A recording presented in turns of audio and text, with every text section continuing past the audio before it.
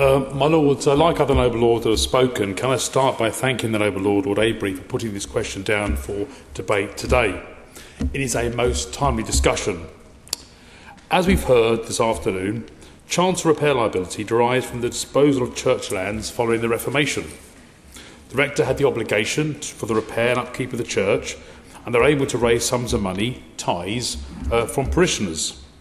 After the Reformation, much church land was passed to lay landowners. But the liability of upkeep remained, and this, my lords, is the problem in effect.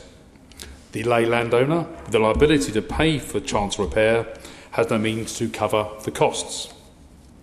Some progress has been made uh, to deal with this anomaly, most recently in 2003, when the then Labour government changed the law, as I've been able to, refer to, so that after the uh, 30th of October 2013, where interest had not been noted at the land registry, any purchase of the land to which the liability had previously attached will not be subject to it, though the current owners in such cases remain liable.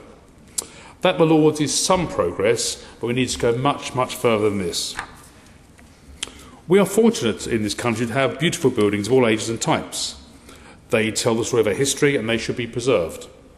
Our system of listed buildings helps protect them. I noted that the Church of England is responsible for maintaining 45% of the Grade 1 listed buildings in the country, and that the majority of all parish churches are Grade 2 or higher. And the Right Reverend Prelate Bishop Derby made reference to this, to this obligation in his contribution to the debate. So we have to find another way to fund the upkeep of these buildings and phase out the chancel repair liability, particularly for individuals. Looking at the Wallbank case, as referred to by the Noble Lord Lord Avebury, which went all the way to your Lordship's house, which found against the Wallbanks and left them with a repair bill which amounted to £250,000, including VAT, and legal fees of £200,000, you can have every sympathy with individuals who find themselves with chancel repair liability claims served upon them, and illustrates how unsatisfactory the present position is. The case established that chancel repair liability, although ancient, is an enforceable part of the law of the land of England and Wales, whereby property owners can be compelled to pay for repairs to the chancel of a church. The Noble Lord Lord Avebury has introduced a private members' bill into the House of Lords on the 14th of July 2014, the effect of which, on becoming law, would, would be to abolish liability on lay rectors for chancel repair. I do not think, with so few days left in this Parliament before it's dissolved at the end of March, that it's going to make much progress, as the Noble Lord himself referred to. I think what the bill is proposing to do is in the right direction. But I think to, to make real progress in the next Parliament, there also have to be provisions to identify replacement funding, and where that, that's where the government comes in. In a debate in the other place on the 17th of October 2012, Helen Grant, in responding to the debate on chancel repair, did not offer much comfort and generally took the view that provisions in place as a result of the 2002 Act have achieved a better balance and we're not persuaded of the need for change.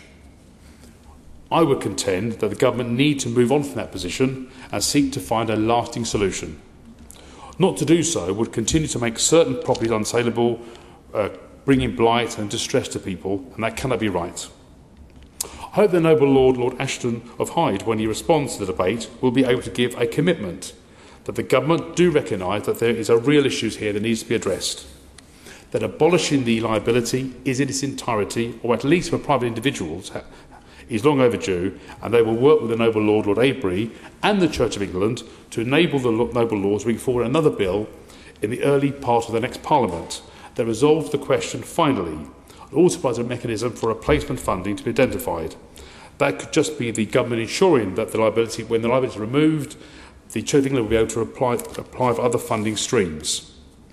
If the government committed themselves to work with the Noble Lord Labour and the Church of England in a similar way they worked with the Noble Lord Lord Naseby on the Deferred Shares Bill, which, which, which they could actually make much progress here, and also much credit to the, to the government. The Noble Lord Lord Hyde of Ashton has heard the Right Reverend Prelate, the Bishop of Derby, say that the Church of England has wants to get rid of this provision themselves. So I hope the Noble Lord will take up my suggestion and to work to resolve this. And I hope he does not stand up and tell, tell the Grand Committee that the government are going to keep the matter under review. because we all know that. That means the government can do absolutely nothing about it at all. That's not accepted in this case.